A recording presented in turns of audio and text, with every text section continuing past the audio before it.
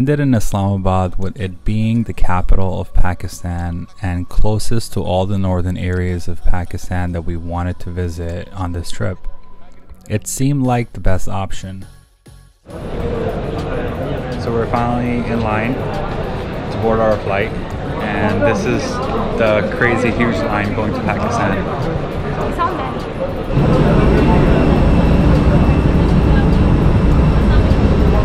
Okay, so we finally made it on the plane, and It's a full plane. it's a full, full plane. So check this out. This is a pretty tight leg room we got going on over here. We'll let you guys know how the flight goes.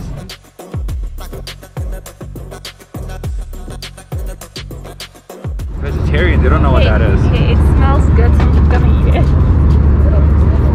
Are you gonna eat it? Yeah. Okay, we're finally out of the plane. And Madina's got some issues going on right now. We gotta run to the bathroom.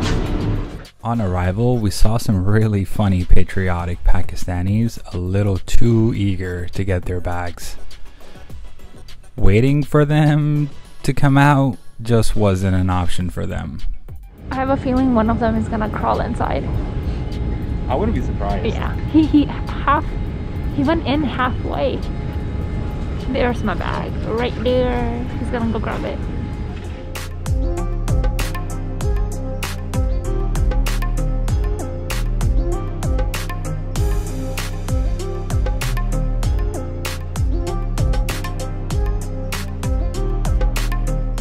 Place is going to be our home for the next two months.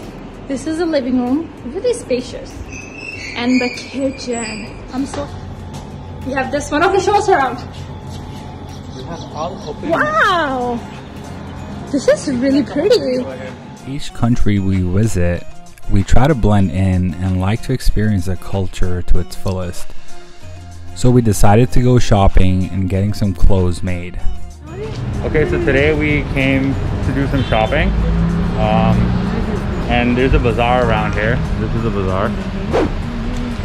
What's this place called?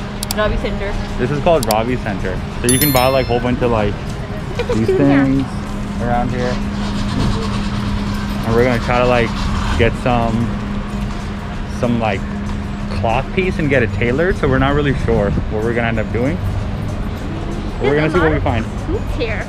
Okay, so we finally came to like one of the stores over here and she's picking out like something to wear for the bottom piece of like the e-dress. This is what I want the bottom. And we're getting a lot of embellishments. So it's gonna be a mission.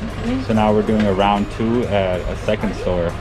Um, and we're gonna check out like a lot more clothes and stuff over here. There's like a whole bunch of unstitched like clothing all over the place. Look at all this. She's like hard at working right now, like picking out what color she wants. Cause she's kind of very specific on what she wants. So third store, we may have found what she wants. And they're actually showing her, they're opening it up. Like the fabrics, we're gonna get it stitched and dyed after. So the color she wants is like kind of like a baby pink, like a light, light pink.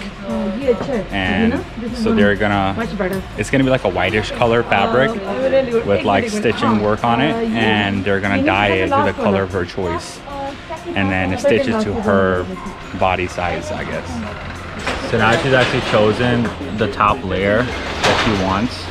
And now they're picking out like the bottom layer of the cloth that they're gonna make and it's gonna be like a baby pinkish color so we'll see how that works out so he's he's showing this right now all right so finally he's done he's just wrapping up the stuff We got the fabric that's like embroidered, that's embroidered, and we have the underlay for it.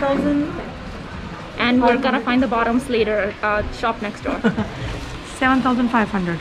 7000 so that's 7500 pakistani Just for rupees fabric.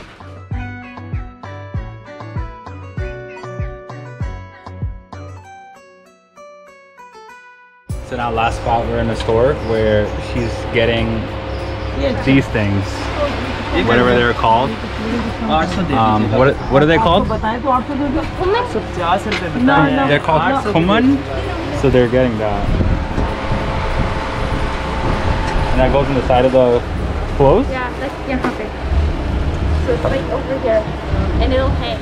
After all the hustling and bustling and shopping for about two days, this dress cost it around 80 US dollars to make, including labor cost.